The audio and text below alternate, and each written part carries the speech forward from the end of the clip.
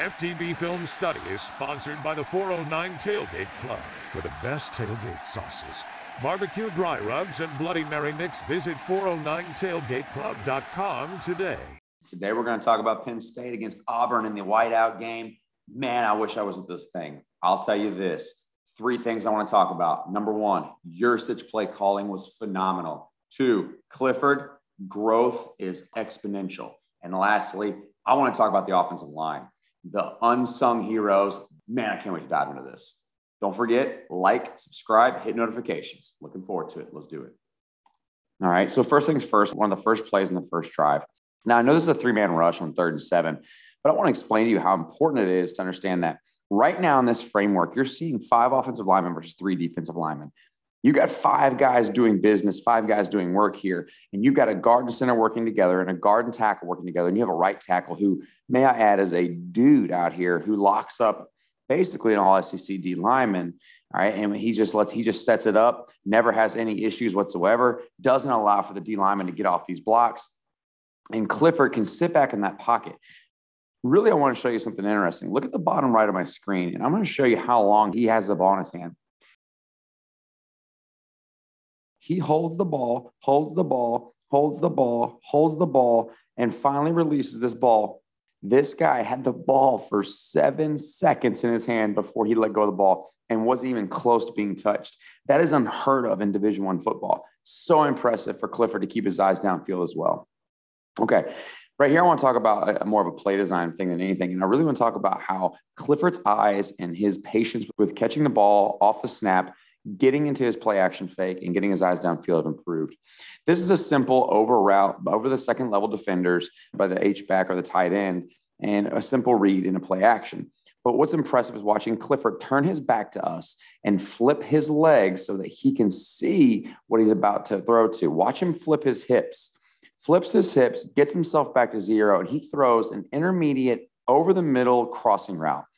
Now, a lot of people don't understand, but this is one of the hardest throws to throw unless you're like a six foot six behemoth, because you usually sail this ball because you're trying to release it over the offensive line.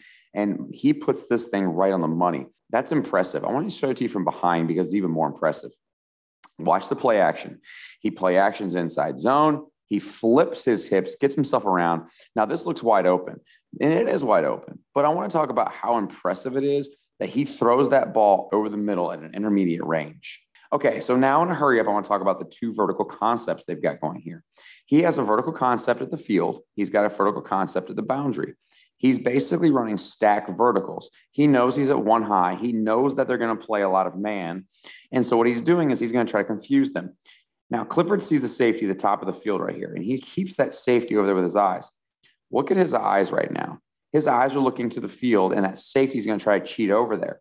He flips his face, flips his eyes, and sees where he wants to throw it to the boundary. Now, look at how his eyes delivered the safety away from where he wanted to throw. Such a savvy move from a, a veteran quarterback. Okay. Again, Let's talk about Penn State's game plan. I think that Yurcich did a great job of getting mesh involved in his game plan as more of an escape valve than anything. And you can tell what he's doing. He's always giving the quarterback like another initial read, and then he allows him to come back to mesh. Now, how does mesh work? Well, it's real simple. At some point in time, you're going to have two receivers coming over the middle. It depends on who it is. You're having a receiver here, you have a receiver here. One is picking off for the other. If it's man, they keep running. If it's zone, they sit in a window. Now it takes time for that play to develop. So usually there's something else going on, like a wheel out of the backfield, or maybe like a wheel with a post, or sit down over the top. It doesn't matter. There's always another concept involved. Now, watch the quarterback's eyes. He's obviously looking to throw the wheel, hoping that this guy was coming off the edge, and so that he could drive this into the into the flat. Now he sees that he doesn't like what he sees right here, he comes back to his second read, which I think was probably this mesh point right here. And he sees that this linebacker was driving down on it. He didn't like it. But watch how he gathers himself, keeps the ball in throwing position, gets across the field, finds dots in the back of the end zone, and throws a dime piece. Okay. Again, Clifford's patience in the pocket, his ability to maneuver and find open receivers has amazed me so far this year. Again, talking about a play action concept, talking about him setting his feet, stepping into his throw, delivering a crosser across the middle of the field. Now, there's a couple things I want to show you here. Number one, the ability for him to set himself up at seven yards or almost at 10 yards. But really, what I think is impressive, guys, is watch the offensive line play. Look at the clean pocket. Look at the guys going to ground. Right tackle beating 99 again. You've got the tight end getting the defensive end up the field. Guys, this is as clean of a pocket as you're going to get in Division One football. And he delivers a strike. Now, a lot of people are going to tell you this ball is high. Yes, it's high. 100% it is. But the problem is he has to throw over a linebacker who bailed late on the play action. So the only place he can put that ball is right here. He also knows his receiver can go get that thing, and Dotson goes up and climbs and gets it. It's impressive to watch the offensive line. It's impressive to watch Clifford's ability to step into the pocket and throw a strike where he knows he needs to throw it. And again, get the ball to your playmakers. Okay, something impressive I hear. I love watching this concept. He has a mesh concept going. He's got a mesh concept from two receivers here, but he also has what he calls just basically a banjo beater. Banjo meaning that this guy and this guy are running man to man. Now they're going to banjo, meaning if these guys were to flip flop and run a vertical switch like we saw previously, then this kid will just pick this kid up. This kid will pick this up, and we're good. And obviously, Coach Yurcich saw this happen. Watch what he does down here at the bottom. He puts these guys together. They touch hands, okay, and then they separate themselves. And then the quarterback can see that they tried to banjo it, and this is a banjo beater. Fantastic play call, great catch, great throw. But even if it didn't work, remember he's running mesh. So he has a backup plan. If that's not there, 13 is running wide open right down the first down marker. And that's why mesh is a good play for this offense. Here we go in the boundary. The run game has been so efficient. I want to talk about that. I want to talk about the offensive line play, but I also want to talk about Clifford's ability to carry a fake out. Look at the head down, look at the back turn to the defense. Ball is tucked into the belly. Nobody has a clue. Great job really I think is interesting is watching how he delivers this ball into the flat. Again, most people think it's an easy throw, but it's not when you have a six foot four, six foot five monster coming at you with his hands in the air. Impressive throw and catch. Another great play. Again, quarterback seeing a concept and coming back down. This is not Clifford's first read. Great job. Look at the protection. It's unbelievable. Left tackle gets beat late, but that's okay. Okay, now watch. He sees this thing. He doesn't like something over here. He comes back to the mesh, hits Parker Washington in the window, and you've got yourself a nice situation and a really good play call right here. Okay. Love the patience on the play action. Absolutely love this. Watch him set himself up and ride this ball. Watch him set up. Look at the protection up front, and he strikes another intermediate dig right over the middle. Again, this doesn't seem like much of a ball, but this is a hard ball to throw in the windows you're given. But because the offensive line has been so successful running the ball, they've done a great job with their play action and allowed them to have an easy concept when it came to pass protection.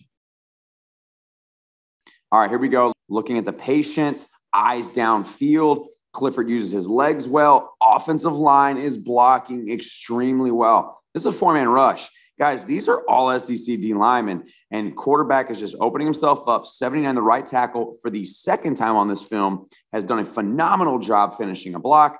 Clifford gets up the field, strikes the ball to Parker Washington, and his first down. Okay, Penn State does a lot of wide zone. We talked about that previous videos. They're also going to run a lot of boot action off of it. This is a fantastic job by the quarterback opening himself up and throwing the throwback screen off of the wide zone boot. Great play call. Great job by the tackle coming back and watch the tailback take this thing up the field. Now, it's first and 10 as soon as this ball's set. Yurcich knows that Auburn loves to go man to man in situation because it's a quick turnaround. They don't know what's coming. So they're going to get into man to man and they're going to bring edge pressure.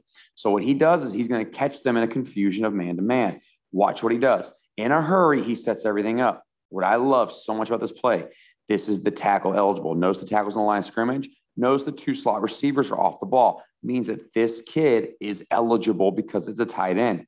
Look at the tackle. 79's been working number 99 all night, and now he has the opportunity to play receiver out here. Now he's not an eligible receiver because he's covered, but he's got bent over. You can't see his numbers. Look at how Auburn is going to play man to man press, and they're going to bring the house. He's going to bring five off of it right now. Now, all of a sudden, you see the safety down here, number one, going, uh oh because he knows something's not right. You've got the tight end pop over the middle because the tackle's eligible, and you get a huge play. Guys, Clifford's game management and ability to do things he hasn't been able to do was exponentially better. But more importantly than anything, the offensive line play was phenomenal.